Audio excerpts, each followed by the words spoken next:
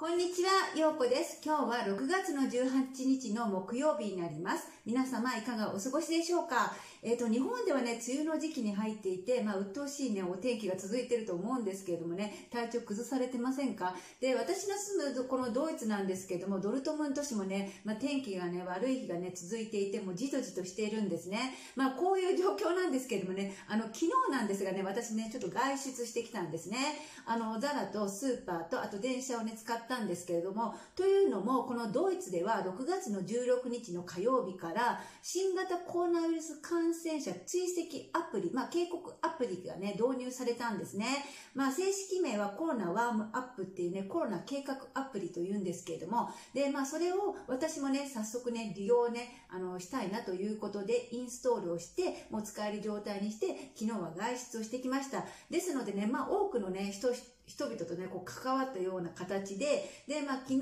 から今朝にかけて、まあ、24時間でね、あの、アップロードされる、あの、されるっていうことなんですけれども、まあ、それで、あの、結果がね、早速来たんですね。で、結果としては、ローレ、ローリスクでした。まあ、要するに、まあ、あの、感染している人と関わりがね、なかったっていうことなんですけれども、まあ、ただしね、まだね、この1日のデータですし、この新しいね、まあ、あの、あの、最近ね、あの、導入されたアプリなので、あの、まだまだね、利用している人が少ないので、まあ、このデータはね、まあ、どこまでね、あの、ちょっとね、あの、うん、活用できるのかっていう状況なんですけどもね、まあ、今後利用者が増えれば、もっとね、明確なね、まあ、データがね、あの、こう得られると思うんですけれどもね、まあ、ちゃんとね、あの、作動していました。っていう状況で、まあ、ドイツでは、まあ、このようにね、あの、この、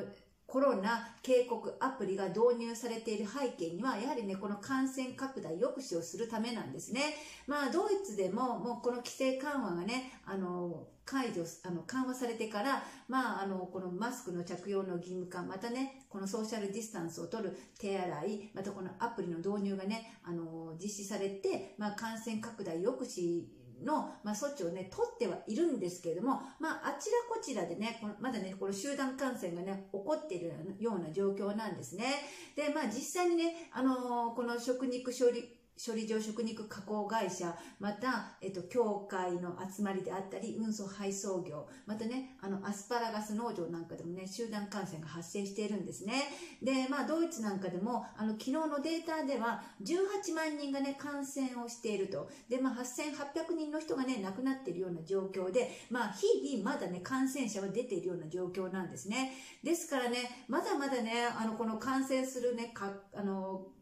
可能性がね、高いことと、またね、この6月の15日の月曜日からはね、あの、国境の制限が解除されたということもあって、まあ、これからはまたね、以前同様に、まあ、空路であったり、陸路においてはね、人が自由に行き来することになるんですね。で、そうなるとね、やはりね、感染がね、拡大する可能性がね、高いんですね。で、そういう中、昨日なんですけれどもね、またね、集団感染が発生しているんですね。まあ、これもね、このどうもね、国境間を超えてのね、ちょっとね、問題になりそうなのでね、まあ、今回これについてね、お話をね、させていただきたいと思います。というのも、またね、食肉処理工、食肉処理場、食肉加工会社で集団感染が発生しています。で、この会社なんですけれども、トニーズっていうね、このドイツの食肉処理加工会社なんですね。で、工場がレーダーウィンテンブルクっていうところにあって、まあ、私の住むこのドルトムント市から電車で1時間ちょっとのところにあるっていうことなんですね。で、そこの会社で、まあ、従業員の人が、まあ、コロナの、あの、この判定のテストを受けて、陽性のテスト、あの、反応がね、出たっていうことで、まあ、感染したっていうことなんですね。657人ね、この陽性が出ています。で、まあ、あの、他他のね、人たちも検査を受けていて、まあ、陰性っていうことなんですけれども、まあ、あの、初めの段階であればね、あのまあ、陽性か陰性かはっきり出ないケースもあるので、まだね、追ってこの検査をね、実施していって、まあ、それからね、またね、あの、明らかなね、感染者数がね、出てくると思うので、まだちょっと注意して見ていかないといけない状況なんですが、で、そういうこともあって、まあ、その感染している人たちが働いていた、まあ、工場においては、他のね、従業員の人たちも人たちも感染している可能性があるということで、7000人が隔離になっています。で、まあそうなると、もう工場はね、稼働できないような状況ですよね。まあそういうこともあって、まあ今ね、ちょっと稼働がしていない状況なんですけれども、このトニーズっていうね、この食肉処理処理加工会社なんですけれども、まあ、ヨーロッパにおいてもね、まあ、大きく展開しているね、会社っていうことなんですね。で、牛肉と豚肉がね、あ豚肉を扱ってるっていうことなんですけれども、ドイツにおいては主に豚肉を扱っているっていうことなんですね。ですから、まあ、このコロナのこの感染者が発生したっていうことで、まあ、工場がね、今停止になっているような状況で、まあ、それに関わる、例えばこの豚肉のね、豚肉を扱ってるっていうことなので、まあ、豚が必要になりますよね。で、あの、養豚場から豚をね、あの、受け入れているんですけれども、そういったね、養豚場も、この、あの、納期に合わせて豚をね、養殖してるっていうことなど、なので、まあ、そういったところにもね、影響ができますよね、出てきますよね。またその、あの、トニーズで、この、あの、食肉処理、あの、加工された、あの、この豚肉なんかや、また他のお肉なんかも、あの、加工会社とかにもね、おろしたりとか、またね、スーパーにもね、おろしたり、まあ、レストランとかにもね、おろしている可能性が、あまあ、あるので、まあ、そういったところにもね、影響がね、出て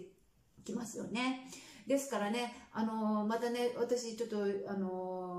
スーパーに行ってね、この豚肉なり、まあお肉なりね、まあそこの会社だけではないですけれども、まあこう立て続けにね、まあこういったね、食肉関連の会社が、あの、まあコロナウイルス感染症が出て、まあ営業ね、あの、停止、一時停止になったりとかね、まあ、あの、供給がね、まあ、やはり滞るような状況になっているのでね、また食品なんかもね、値段がね、変わってきたりとか、まあ、食品の数がね、減ったりとかする可能性もあるのでね、まあ、見ていきたいなと思っているんですけれども、まあ、なぜに、この食肉処理加工会社、食肉処理あの、上でね、この感染がね、集団感染が起こっているかっていうことなんですけれども、以前にも他の地域で発生したこの食肉処理場、食肉加工会社で起こった集団感染においては、この短期のこの就労で雇われている従業員の人たちが、まあ、あの、共にね、共同生活をしているところで集団感染がね、発生しているっていうことだったんですね。まあ、その短期、あの、期間の労働者っていうことで、まあ、ドイツ国内に限らず、ルーマニアや、まあ、ブルガリアから、あの、その出稼ぎという形でね、あの、働きに来ている人たちがいるんですね。で、まあ、そういう人たちは、まあ、あの、その食品会社が、まあ、あの、用意した、まあ、施設なり、あの、住居なりを、まあ、共にね、こう、生活するっていうことなんですけれども、まあ、狭いね、この一部屋に、まあ、5、6人が、まあ、ベッドをね、まあ、置いて、まあ、生活しているような状況で、まあ、もちろんね、シャワーや、まあ、キッチンもね、共有ですよね。で、そうなるとね、まあ、狭いスペースで多くの人が、まあ、集うことで、まあ、一人が感染したらすぐに感染しますよね。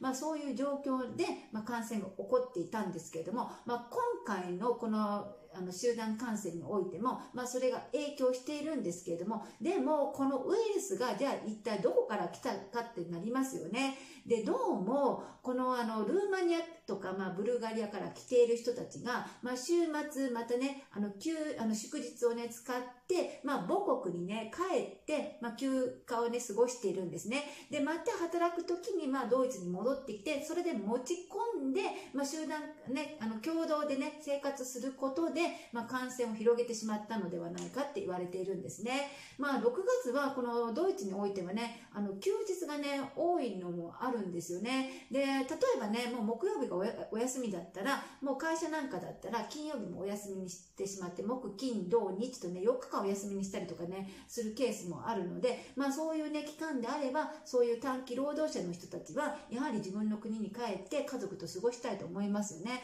で、まあそういうね、あの、休日をね、利用して、まあ休暇を母国で取って、まあ持って帰ってきたっていう可能性がね、今ね、ちょっと、あの、可能性として挙げられているんですけれども、まあこれからね、あの、もう国境がね、解除になったので、まあ、こういったね、あの、海外からの人たちのね、この流入、流出がね、出てくると、まあ、感染が、まあ、今はね、この、抑えられていても、まあ、人の行き来がね、あることで、やはり感染がね、広がる可能性がね、やっぱり、やはりね、多いっていうことですよね。大きいっていうことですよね。まあ、あの、まだね、ちょっとね、本当に徹底して、まあ、衛生管理であったりとか、マスクの着用義務であったりとか、あと、まあ、集団感染ね、起こっている場所においては、やはりね、集団生活、まあ、共にね、この密接した距離でね、この飛沫感染の接触感染が起こっているので、まあ、そういうね、あの、働く人たちはね、どういうふうに対策を取るのかっていうのね、本当にね、きっちりね、あの、この徹底しないといけないのではないかなと思います。まあそういう状況なんですけれどもね。で、まあ最近になってこの新型コロナウイルスが、まあひょっとして風邪では、風邪と似たような、まあインフルエンザと似ているのではないかって言われているんですが、まだね、ちょっとね、原因がね、わからないね、どこから来ているかわからないウイルスなので、まあなんとも言えないんですが、ただね、重症化しているケースを見ると、やはりね、この免疫が低下している人とか、まあ高齢者に多いですよね。で、まあ、意外とね、まあ、働き盛りの人たちは、まあ、あの、自宅で療養して、まあ、あの、休息を取ることで回復しているケースなんかも多かったりするので、まあ基本的にはね、やはりね、感染しないようにちゃんとマスクをして、まああとはね、手洗いをする。で、あの、基礎体力ね、免疫をしっかりつけておくとね、かかりにくいのではないかなね、私もね、感じています。まあこういう状況ですけれどもね、まあまだまだね、この感染がある状況の中、あのいつでもね、この感染する可能性はあるので、で、まあただの風邪かもしれないし、インフルエンザかもしれないですけれども、まだね、何とも言えない状況ですのでね、まあどうぞね、あの、ご自身で感染予防にお努めください。今日もご視聴ありがとうございました。